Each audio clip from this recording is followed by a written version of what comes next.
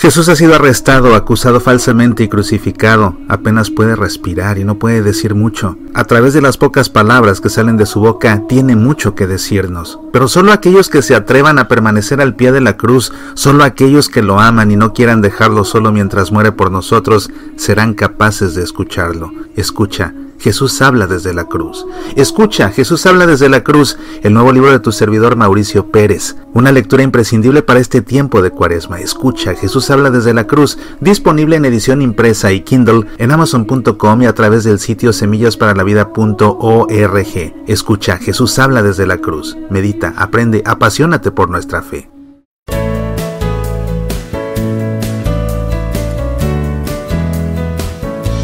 La cuaresma es uno de los tiempos fuertes en el año litúrgico. No es para menos. Iniciamos recordando tangiblemente que polvo somos y al polvo volveremos. Y tenemos como faro y destino en el horizonte una cruz en el Calvario. Tomarse en serio este principio del viaje espiritual por excelencia, así como su destino, es razón para estremecerse.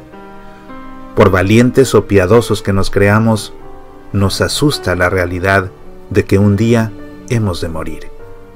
La cruz de Jesús en Viernes Santo al final de este trayecto es paradójicamente gloriosa, la máxima manifestación del amor del Hijo de Dios por nosotros, pero una expresión cruel y despiadada en que aquel que es el amor es brutalmente flagelado, coronado con espinas sin misericordia, clavado en una cruz con fuerza y sin piedad, para después de morir, no de un dolor que recorre el cuerpo por los músculos y tendones como descargas eléctricas, ni de la cantidad de sangre derramada a veces a gotas y a veces a chorros, ni de la deshidratación bajo el calor reseco, sino de la asfixia angustiante que roba el último suspiro a un crucificado.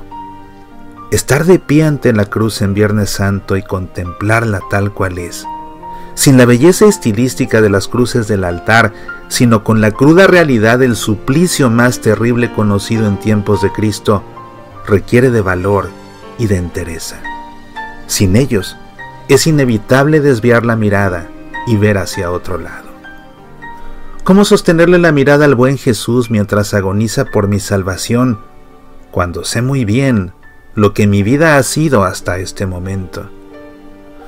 Cómo ver su sangre brotando de su frente, de sus manos, de sus pies y de su espalda, cuando yo no dejo de quejarme de las penas que me afligen y que a su lado no son nada. La cruz verdadera impone y da miedo.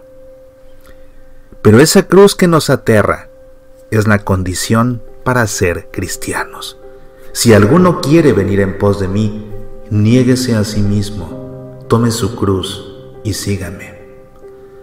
La cruz pesa, duele, intimida, avergüenza, derriba. Cargarla es una penitencia.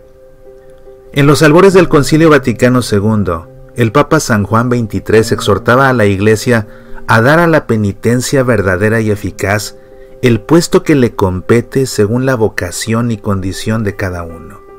Solamente así, en esta luz, el hombre se descubre a sí mismo, viene a conocer sus arduos e inaplazables deberes y se determina a practicar generosamente la penitencia entendida como amor a la cruz. Es en la penitencia que el hombre se descubre a sí mismo. Es enfrentando aquello que nos pesa, que nos roba el sueño, que nos avergüenza, que nos duele, aquello incluso que nos va robando la vida, que descubrimos quiénes somos en realidad, vasijas de barro. Hasta la palabra humano significa hecho del polvo del suelo. Estamos hechos de un barro frágil que se resquebraja una y otra vez. Pero no olvidemos que nuestra vasija fue modelada por el divino alfarero. Y así como paradójica resulta la cruz al final del camino, el inicio del mismo resulta igualmente paradójico. Somos polvo y al polvo volveremos.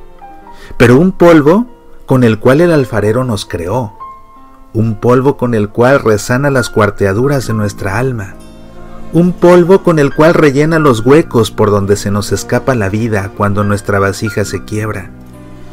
un polvo al cual Dios es capaz de soplar para transmitir su espíritu que da vida, que da amor, que nos hace semejantes a nuestro Creador y que permite que aunque la cruz marque el final del camino, no sea el final de la historia. Porque la muerte en la cruz es el final del camino, pero no el final de la historia. Tres días después, encontraremos un sepulcro vacío y la resurrección a la vida eterna.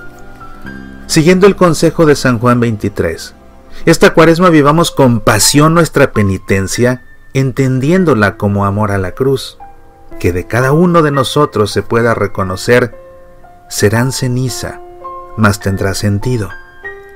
Polvo serán, mas polvo enamorado. Este es el texto de mi columna Semillas de la Palabra que aparece en la edición de marzo de la revista Northwest Catholic. Puedes leer el contenido de esta revista en línea en el sitio nwcatholic.org o puedes suscribirte a su edición impresa desde ese mismo sitio. Si vives en la Arquidiócesis de Seattle y estás inscrito en una parroquia, debes recibir gratuitamente esta revista. Si no es así, pide una copia gratis en tu parroquia. Soy Mauricio Pérez, estas son Semillas para la Vida. Escucha Semillas para la Vida también en SoundCloud, iTunes, Evox, Facebook, Twitter, YouTube, Tuning Radio y en nuestro sitio semillasparalavida.org. ¿Te gustaría sacarnos al aire en tu estación de radio católica? Escríbenos, apasionate por nuestra fe.